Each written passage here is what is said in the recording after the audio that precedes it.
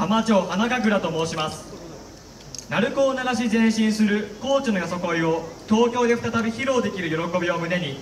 気持ちを一つにし皆様に元気と希望をお届けできるよう一生懸命に踊らせていただきます。というコメントをいただいております。チームを代表して浜口美佐子さんに今年の参加の意気込みをお聞きしたいと思います。浜口さん意気込みをお願いします。浜口美佐子と申します、えー、参加の意気込み、はい。そうですね。久しぶりに、えーとお江戸に上がらせていただいて、えーこんな晴天の中、えーよさこいに参加できるっていうのがすごく感動してます。そして、えーこちらのお祭りもね晴天の中無事開催できまして誠におめでとうございます。私たち高知県もあのー本サイトまではいかなかったんですけど、えー特別演舞という形で、えーよさこい祭りが開催されました。そんな中でですね、えーちょっと毎年疲れるなとか思ってたのに、え3年ぶりに土佐のよさこい祭りね開催できてこんなに私らよさこいが好きやったかやっていうのを、えー深々としみじみと感じれる素晴らしい年になりました、えーその感謝の思いをね日常に感謝ということで感謝の思いを込めて本日は踊らせていただきたいと思います。どうぞよろしくお願いいたします。ありがとうございました。それでは準備お願いします。はい、えー改めまして高知県からやってまいりました浜町花神楽と申します。どうぞよろしくお願いいたします、えー高知県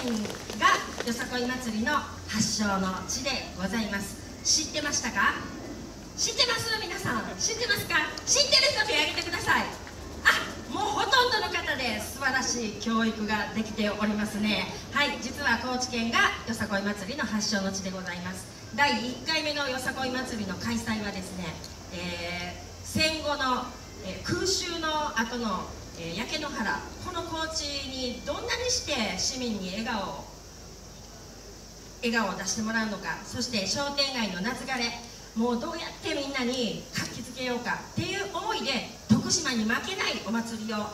土佐の高知にも開催しようじゃないかっていうことで、えー69年前に開催されたのが第1回目よさこい鳴子踊りでございました、えーその時の思いをですね思い浮かべながら今年は